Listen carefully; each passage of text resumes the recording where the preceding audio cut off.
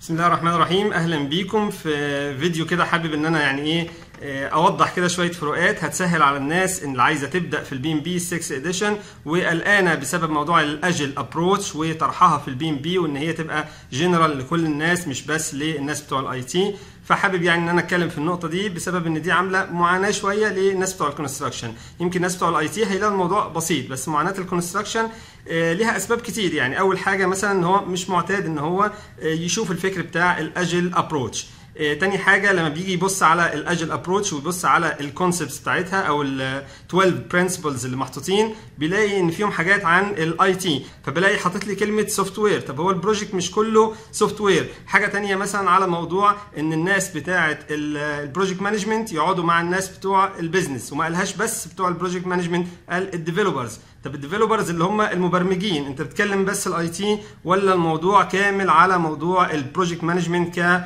كتاب خاص لل project management عموما مش بس للناس بتوع ال IT فلقينا إن ال principles نفسها الخاصة بموضوع ال agile approach يعني فيها كلمة software و developers باستمرار وكان هو فعلا بيكلم الناس بتاعة ال IT بس.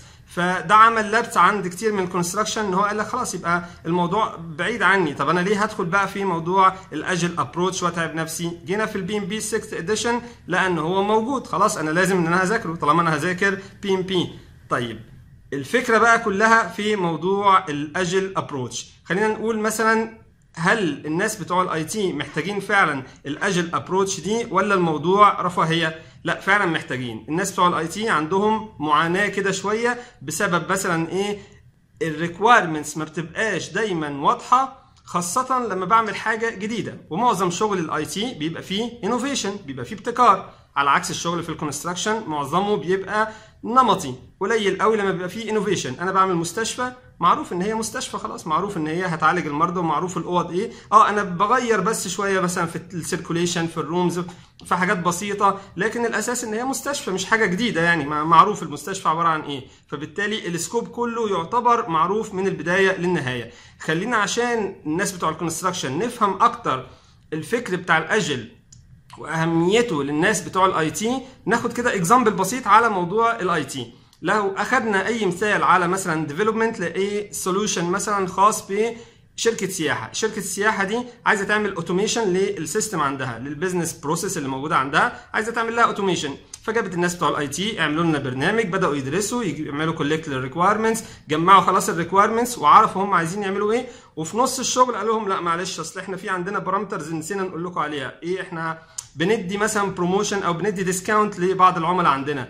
طب هنضطر نغير من الأول. طب ما كنتوا قلتوا لنا الكلام ده. أو مثلا يكتشفوا حاجة جديدة وهم في النص يجي واحد مثلا بتاع شركة السياحه ده ويقول أنا عايز أزود مثلا approach جديدة. وهو بيزود ال approach الجديدة دي يلاقي مثلا إن هو عايز يعمل إيه؟ عايز يعمل مثلا system خاص بالنقاط point system أو نظام loyalty نظام للولاء. عشان اللي هيشتري من عندنا كتير هيبقى عنده points وبعد كده هيقدر إن هو يشتري بأسعار مخفضة. طيب ال developer هيجي يقول له طب ما قلتليش ليه على الفكرة دي من الأول؟ بدل ما أجي أعيد مثلا موضوع ال database بتاعتي أو أعيد مثلا ال developing لبعض ال modules عندي طب كنت قلت لي من الأول يعني سايبني أشتغل وبعد كده جاي تقول لي دلوقتي طيب يبقى إحنا محتاجين فعلا نشتغل agile عشان ال requirements مش معروفة. الكلام ده ما بنشوفوش في ال construction ال construction ما فيش عندنا بقى مشكلة مثلا ال waterfall أو مشكلة الناس اللي بتشتغل كل الشغل على بعضه مرة واحدة ويجي يسلمه لل client ويلاقي إن الكلام ده مش نافع. لا عندنا ما فيش في ال construction المشكلة ديت. فعشان كده زي ما هيبان معانا في ال examples اللي هنتكلم فيها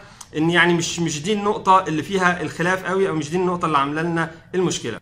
طيب نيجي بقى لل life cycle الخاصة بموضوع ال agile approach هي دي اللي هتوضح لنا الموضوع بشكل كبير.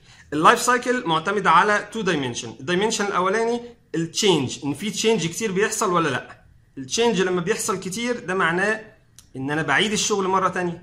طيب عشان ما اعيدش الشغل محتاج إن اقلل بقى ال change ده. في ال construction في change في آه بس محدود. يعني مثلا بنيت أربع أدوار من المبنى مش ههد وأبني حاجة تانية. لكن في ال development أو في البرمجة يعني لا الوضع ممكن. ليه؟ لأن هم مثلا ثلاث افراد مهندسين قعدوا يشتغلوا على برنامج قعدوا مثلا لمدة شهرين. ال client ببساطة يقول لهم معلش أنا متكفل بالمصاريف دي حتى لو اشتغلت ست شهور أنا متكفل. ليه؟ لأن هي في النهاية مصاريف resources مصاريف أفراد. فالموضوع بسيط يقدر ياخد القرار بسهولة. على عكس في ال construction لا ده في material و resources و equipment وشغل وفلوس مليارات اتدفعت أو ملايين اتدفعت. طب اتدفعت دي مش بسهولة بقى هقول هد المبنى وابنيه تاني يعني. فعشان كده في ال construction ممكن ألاقي إن الموضوع ده إيه مش سهل إن أنا أعمل changes كتيرة قوي بعد ما أكون اشتغلت. لا اشتغلت خلاص. صعب بقى إن أنا أغير. على عكس في ال IT آه ممكن أغير. ماشي. ممكن إن أنا أتحمل الموضوع والتكاليف كلها ك client وأقول ماشي مفيش مشكلة إن أنا هغير. ده ال parameter الأولاني اللي هو ال changes ال parameter الثاني اللي هو الدليفري. الناس بتوع ال IT كان متعود مثلا في ال waterfall إن هو يخلص البرنامج ويسلم. هو 1 دليفري 2 deliveries مثلا فقال لك لا أنا مش هشتغل بقى بالطريقة دي. أنا عايز إن أنا يعني باستمرار يبقى في دليفري كل ما أخلص module معين لو رجعنا للمثال بتاع شركة السياحة حاجة مثلا module خاص بال customers هسلمه. module خاص تاني بال transaction أي module مثلا أخلصه أسلمه. مش هستنى لما أخلص البرنامج كله على بعضه وبعد كده أرجع أقول طيب أنا سلمته. لا ده ال client مش راضي. فعشان كده ال waterfall ما كانتش نافعة. في ال construction الموضوع ده مش موجود يعني موضوع ال delivery ال delivery عند ال construction الوضع مختلف تماما. الوضع غير يعني موضوع ال waterfall زي ما هناخد في ال example اللي هقوله بعد شوية. ال two D's بتوع ال life cycle دي حكمت لي الموضوع ما بين أربع حاجات. لو أنا عندي changes قليلة وعندي الدليفري قليل فبالتالي أنا كده بشتغل predictive إن أنا قادر على إن أنا أتنبأ بال scope كله. سواء ال scope أقدر اعمل له بالتالي time schedule أقدر اعمل له costing أي process هقدر أعملها. طالما ال scope خلاص بقى واضح زي ما إحنا عارفين WBS أساس العمليات التخطيطية اللي هتيجي بعد كده. طيب ال scope بقى واضح من أول يوم وال changes المتوقعة قليلة جدا والدليفري مش هقعد أعمل deliveries كتير. يعني باعتبار إن النقطة دي خلافية هنقولها بعد شوية. فبالتالي أنا هشتغل predictive أنا عارف خلاص ال scope أقدر أعمل له planning كله من البداية. طيب لو أنا عندي واحد من ال parameters دول اختلف نيجي مثلا لل changes هيبقى فيه changes كتير ومتوقع إن أنا بعد ما اشتغل يرجع يقول لي لا عيد. طيب عيد يبقى أنا محتاج إن أنا اشتغل إيه؟ اشتغل iterative iterative يعني مرة ومرة ومرة ومرة وهكذا.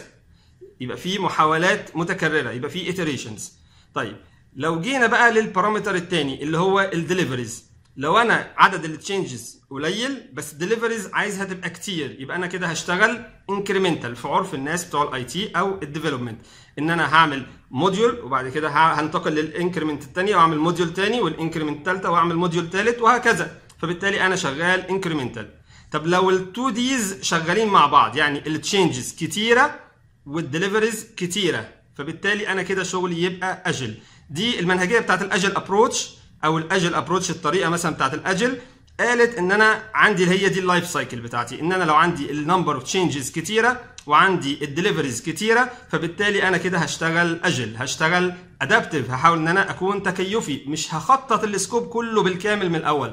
هخطط الجزء اللي في البداية وبعد كده هبقى اعمل plan واحدة واحدة لما أفهم. خلاص أنا اتأكدت الجزء الأولاني دوت مظبوط ماشي خلاص okay مع الوقت هبدأ إن أنا أكبر بقى وإن أنا أزود في ال scope لكن مش هخطط لل scope كله من البداية من الأول. ليه؟ لأن أنا متوقع إن أنت هتيجي تعمل لي شوية تغييرات كبيرة وجذرية ك client هتغير لي الموضوع كله على بعضه. فبالتالي لا أنا محتاج إن أنا أبقى adaptive مش predictive مش هعرف إن أنا أتنبأ بال scope بالكامل من أوله. لا ده أنا. يعني مش هقدر إن أنا أتنبأ. فبالتالي أنا متوقع إن أنا أشتغل إيه؟ جزء صغير على قد ال module الأولاني أو على قد اللي ممكن نسميها إيه؟ ال increment الأولانية. أو الجزء اللي في البداية هطلعه وبعد كده هبقى أعمل planning للباقي. عشان ما أقعدش أعمل بقى scope و planning و costing لحاجات وأنت تيجي ك client تقول لي أنا عندي changes كتير فتغير لي الموضوع كله. فدي كده إيه النقطتين أو ال two dimension الرئيسيين لموضوع ال life cycle تعالوا بقى نسقط الكلام ده على موضوع ال construction ونقول هل في ال construction إحنا مش محتاجين نشتغل adaptive ولا predictive هل هي فرض أنا لازم أشتغل adaptive لا ال PMI في النهاية لما بيطرح ال standard بتاع ال PMBOK زي ما كل اللي قرأ ال standard شاف هو بيطرح الفكر عشان يديك tools كتيرة. وبعد كده يقول لك اعمل tailoring مش لازم تاخد كل ال processes نقي ال processes اللي هتنفع لل case بتاعتك. هو بيقدم يعني standard شامل عايز يحط فيه كل ال tools وال techniques هستخدم أنا كل ال tools وال techniques في المشروع عندي؟ لا أنا هعمل tailoring أنا هختار شوية عناصر هختار شوية حاجات. فبالتالي هو مش فارضها عليا. طيب هشتغل adaptive ولا predictive على حسب الحالة. الناس اللي شغالة في ال construction في ال awarding مثلا أو ما بعد ال awarding إن خلاص في مقاول جاء وأخد المشروع وهيبدأ construction معظم المشاريع لما بتبقى fixed price أو ال BOQ بتاعتها موجودة وموجود فيها كل ال line items فخلاص ال scope معروف. ال activities كلها معروفة. الراجل مسعرها والمشروع كله معروف. مفيش change في ممكن بس هتبقى حاجات بسيطة. لكن مش زي الحاجة ال global change اللي هيغير المشروع بالكامل زي ما بنشوف مثلا في ال IT فبالتالي موضوع ال construction لما ابقى أنا شغال مثلا على مشاريع بعد ال awarding والمشروع ده fixed price بيبقى خلاص ال consultant أو ال designer عمل لي ال drawings كلها وعمل لي المشروع كله وال scope كله واضح. فالموضوع عندي predictive ابدأ خطط. خلاص التغييرات هتبقى قليلة مش حاجة جامدة جدا. فمش محتاج ساعتها إن أنت تشتغل agile أو مش محتاج إن أنت تشتغل adaptive هل في أمثلة عندنا في ال construction مثلا ممكن أشتغل فيها؟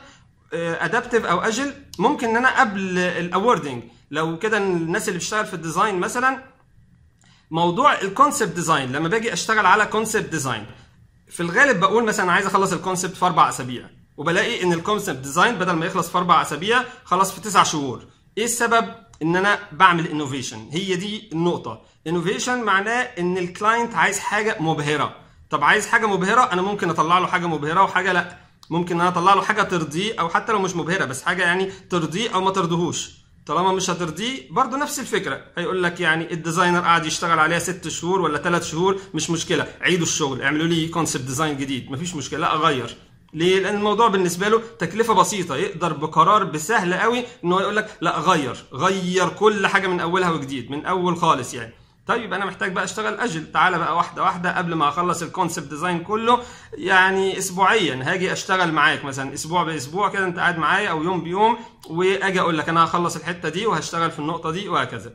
من الأمثلة عندنا برضو موضوع ال cost plus لو أنا بشتغل في project وال project ده مش معروف ال requirements بتاعته عبارة عن إيه. أنا عايز أعمل فكرة جديدة مثلا زي موضوع الجامعة مثلا أو جسر الجمرات مثلا. جسر الجمرات في منى الجسر مثلا في البداية مش معروف هو هيبقى الموضوع عبارة عن إيه. إحنا عندنا مشكلة الناس بتموت والناس اللي بتموت دي عايزين لها حل في في الفترة بتاعت منى وهم بيرموا الجمرات. فبالتالي إحنا محتاجين عشان الناس ما تموتش محتاجين فكرة جديدة. فمش عارفين هنعمل إيه. الموضوع هيتحل إزاي؟ ما أعرفش أنا عايز مقاول يجي ياخد الموضوع كله على بعضه. يديني فكرة جديدة تحل الموضوع ويعمل لها design ويعمل لها building construction ويخلص كل حاجة. و maintenance و operation كمان. ليه؟ أنا عايزه يحل المشكلة، الموضوع مش تقليدي مش معتاد مش كل يوم إن أنا بعمل مبنى زي المبنى ده، فبالتالي ده ساعتها innovation هقول للمقاول اشتغل. اشتغل ومش عارفين. اللي هيطلع ده ممكن نقول له لا معلش غيره وممكن ما يغيرهوش. فساعتها لا محتاج يشتغل agile. محتاج إن هو ما يخلصش كل حاجة ويجي يقول لي. لا قول لي أول بأول. عشان إحنا إيه نشتغل مع بعض واحدة واحدة. يمكن إسقاطي عن على ال construction مثلا بعض الأمثلة جاء من يعني السبب الرئيسي إن أنا اشتغلت في الحاجتين اشتغلت construction واشتغلت IT كنت client ل programmer كان بيعمل development وأنا شخصيا يعني كنت باستمرار بطلب منه تغييرات كتيرة وبنغير حاجات في ال business بشكل كبير قوي. فده اللي خلاني أحس يعني بالمعاناة بتاعته إن هو فعلا بيعاني بشكل قد إيه إن أنا تطلع في دماغي فكرة جديدة في ال solution اللي أنا عايز أعمله إن لأ هيبقى فيه business concept جديد أنا عايز أحطه عشان أنا شايف إن ده مناسب لل market دلوقتي. فأنا محتاج أزود دي. فطالما أنا محتاجه يبقى بالتالي أنت هتغير حاجات كتير من أول وجديد. فبيبقى صعبان عليا وأنا بقول له الكلام ده صعبان عليا يعني فعلا. لكن كنا متفقين من البداية إن أنا هشتغل agile. كنا بادئين المشروع مثلا في 2016 وقلنا إن إحنا هنشتغل agile وهنشتغل أسبوع بأسبوع بنراجع. لكن الفكرة إن كان بيظهر فعلا يعني حاجات جديدة أنا شايفها إن هي هتفيد ال market وهتفيدني. لكن ساعتها بقول له معلش هنغير إحنا كنا شغالين agile. آه بس ما قدرناش ناخدها في الاعتبار لأن دي ما جاش في دماغي غير دلوقتي. أنا ك client أنا متعب أنا عارف ما جاش في دماغي غير دلوقتي. فعشان كده بحاول إن أنا أعمل بقى إسقاط لل concepts اللي أنا شفتها دي على مشاريع ال construction عشان أقول إمتى إحنا ممكن نشتغل adaptive أو agile وإمتى إن إحنا ممكن نشتغل بالطريقة ال predictive العادية. النقطة الثانية بقى موضوع الدليفري، أنا يعني شخصيا عندي اعتراض على ال life cycle اللي حطها ال PMI على الموضوع ده، إن هو قال لك موضوع الدليفري. لو أنا هشتغل مثلا دليفري كتير يبقى أنا كده بشتغل incremental يعني إن أنا بشتغل مرحلي ما بشتغلش predictive ليه؟ لأن أنا مش عارف اللي جاي إيه فهعمل دليفري على أكتر من مرحلة. يعني إحنا عندنا في ال construction الوضع مش كده. الدليفري عندنا يوميا يوميا بنعمل دليفري ومع ذلك إحنا مش شغالين incremental إحنا شغالين predictive الناس بتوع ال IT دايما بيجي يشتغل مثلا بال sprint يقول لك أنا هشتغل مثلا sprint لمدة أسبوع two weeks month بالكتير وهعمل فيه شغل وهوريك الشغل ده. عندنا في ال construction الموضوع مش موجود. في ال construction الموضوع مختلف تماما. ليه؟ سبب الاختلاف لأن أنا عندي consultant أو supervision consultant قاعد معايا في الموقع مش بقى بيعمل inspection كل أسبوع. إحنا مش هننزل للمرحلة ديت. يعني ما, ما بقولش مثلا ده وحش وده حلو بس يعني بسبب إن إحنا ما عندناش innovation جديد فبالتالي الموضوع آه خلاص بقى يعني typical الموضوع بقى سهل. معروف إيه الخطوات اللي هتتم؟ فبقى ال designer أو بقى ال supervision consultant sorry بقى موجود عندي في الموقع وبيستلم أول بأول. ممكن عدد ال deliveries في اليوم الواحد تبقى خمسة deliveries. جزء مثلا في الكهرباء جزء في ال low current جزء في ال mechanical. ال mechanical في حبة في ال fire fighting وحبة في ال HVAC وحبة في ال plumbing وحبة حاجات في ال architect جزء منها tile work وجزء منها ceiling يعني items كتيرة مفتوحة وعدد ال inspection يعني minimum خمسة. ممكن لو mega project ممكن ألاقي ال project ده فيه عدد تسليمات 50 60 مثلا inspection في اليوم الواحد لو buildings كتيرة و mega project يعني. فبالتالي ساعتها موضوع الدليفري عندنا في ال construction مش محتاجين بقى ساعتها إن أنا أقول الأسبوع الجاي أنا هعمل شوية حاجات عشان أسلمهم لك عشان ما بقاش أشتغل waterfall لا الكلام ده في ال IT في ال IT هو كان بيسلم ال product على بعضه فمحتاج إن هو لا يسلم كل شوية حاجة.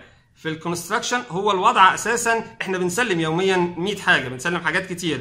فمش هتعمل الموضوع ده عندك إن أنا عايز بقى كل أسبوع أسلم حاجة جديدة. لا أنا مش مش مش هقلل العدد يعني ده العدد مفتوح يعني يوميا كمية ال deliveries كتير. ده بسبب ال complex اللي في في ال construction industry وال complex ده يضم ينم على إن مفيش innovation أو ال innovation ضعيف يعني مش إيه مفيش حاجة جديدة يعني. برضه عشان ما نبقاش ما حدش يفتكر إن أنا بقلل من شأن ال IT بالعكس ال IT عندهم دليفري كل فترة مش بسبب إن هم وحشين يعني أو بسبب إن هم قليلين لا بسبب إن هو عنده innovation هو بيبقى عامل start from scratch بيبقى عامل حاجة customize على ال customer ده. يعني بي بيعمل دراسة لل customer ويشوف ال requirements بشكل كويس وبيعمل حاجة ما كانش عملها قبل كده. أول مرة أنا هحقق لك الطلب بتاعك ده يا customer بس أنا ما عملتوش قبل كده. بس هدرس واعمله لك واحققه زي شغل ال engineering عندنا في ال construction اللي هو ما قبل ال awarding زي ما قلنا ال concept design أو أي حاجة في ال engineering في الغالب بتبقى في حاجات مثلا إيه مش نمطية مش معتادة فببدأ إن أنا